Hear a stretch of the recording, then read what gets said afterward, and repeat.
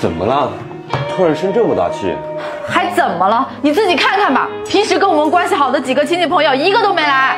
都没来。